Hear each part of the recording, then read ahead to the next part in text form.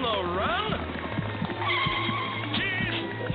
Omega 3's good for your heart. Heart-wise with Omega 3 is low in fat too, with a full milk taste you.